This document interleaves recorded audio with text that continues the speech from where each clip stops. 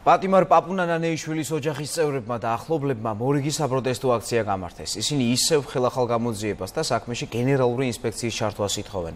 პატიმრის მამის განცხადებით, მისი შვილი 55 დღეა შიმშილობს და მისი ჯანმრთელობის მდგომარეობა არის ძალიან რთული და მძიმე. ხობის რაიონის სოფელ ხეთაში გამართულ აქციაზე საკრებულოს თავმჯდომარე ედიშერ ჯობავა მევიდა. ის ოჯახს საქმის შესწავლას პირდება. დანეიშვილის ოჯახი ხელისუფლებას აძლევს დროს საღამომდე. მათი მოთხოვნის დაუკმაყოფილებლობის შემთხვევაში კი პროტესტის სხვა ფორმას მიმართავენ. აბუნა ნანეიშვილი იარაღის უკანონო შენახვა ტარების ბრალდებით არის გასამართლებული. მას 6 წლიანი პატიმრობა აქვს მიშილი. შინაგან საქმეთა სამინისტროში აცხადებენ, რომ გენინსპექციამ საქმე უკვე გამოიძია და მასალა გადაეგზავნა პროკურატურას.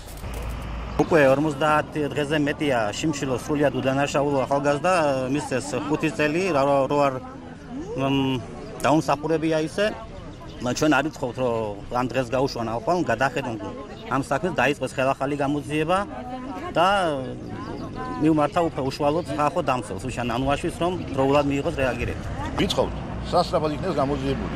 ან სასწრაფოდ შევიდეს დენაისფექცია და მიაქციოს ყოლაბდება დღეს ხდება 50 მილიონი რა 1 საათი არ უნდა არ შეგუჭამი არაფერი და ამას რეაგირება არაფერი არ მოხდენია ეს ვარ იქნება ზუსტი პასუხი და რა შედეგი რა იქნება ხვალე ყველანაირ შემთხვევაში გადავკეთოთ გზას. შევხვდით ნანაიშვილის ოჯახს და დეპუტატის საქმის გუშინ მაჟორიტარი დეპუტატიც და დარწმუნებული ვარ რომ სამართლებრივი ფორმებით ეს საკითხი გაირკვევა. ფოთის ბაზრობის დაწვით დაზარალებულმა მოვაჭრეებმა ქალაქის შესასვლელში ცენტრალური